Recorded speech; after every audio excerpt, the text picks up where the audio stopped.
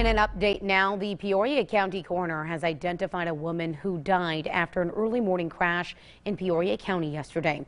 According to coroner Jamie Harwood, 24-year-old Cheyenne Edwards of Canton died instantly from blunt force trauma. Peoria County Sheriff's deputies say that crash happened around 6 a.m. on Smithville Road near Zion Penn Ridge Lutheran Church. Police say that that car overturned and hit a power pole.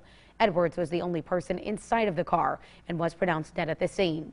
Sheriff's deputies are still investigating the crash.